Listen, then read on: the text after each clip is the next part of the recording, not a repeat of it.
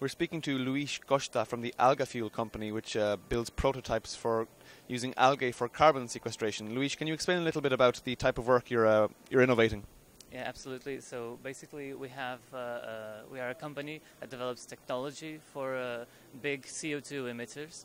Uh, so these are companies like power plants and cement plants, glass plants, and clients like those. basically, we have a lot of technologies available. we actually uh, have to select the, the most adequate technology for the, each client and uh, select which microalgae is the most appropriate. And uh, so we have uh, a sequential type of, of process with progressive scale-ups, and we, we optimize all the technology, uh, all the process, uh, in order for us to, to be able to sequester as much CO2 as possible from these clients. So basically this is advantageous for those clients because uh, we can uh, we can reduce their uh, their um, their budget in in licenses for CO2 emission.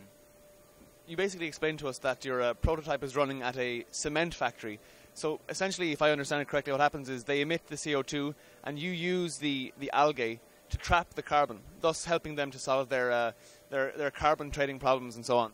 Yes, that's right. Uh, basically, uh, the, this cement plant that, that is in Portugal uh, is our most advanced prototype at the moment.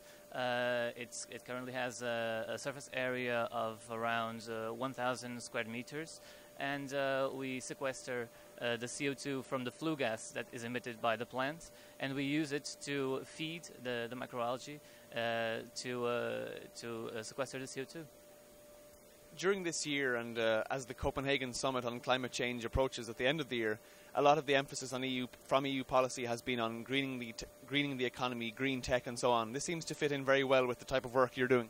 Yes, exactly. So uh, in in two ways actually. So first of all, by by fixating the CO2, and second by using the biomass that we produce as uh, an alternative, a sustainable source uh, of biomass that can be used for uh, energy production or biofuel production as well.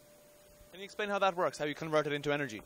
Yeah, uh, basically there are a lot of processes that are being developed uh, as we speak.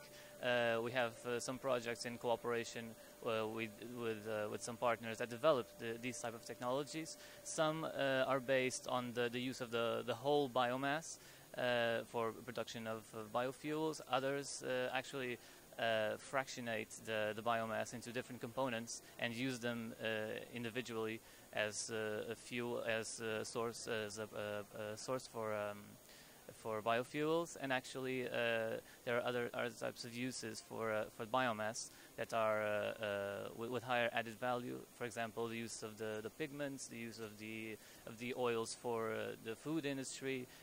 even some components are useful for the pharmaceutical industry as well. Finally, how has this Innovation Days conference been beneficial for you? Have you met uh, potential partners or have you seen other projects with which you could collaborate, perhaps? Uh, yes, absolutely. We have had uh, many contacts of people who are interested in, in our work, and uh, I've actually uh, uh, did my, my share of, of, touring here, and I found actually some very interesting companies that have some solutions that may be very adequate for us as well. Luis, thank you very much. Thank you.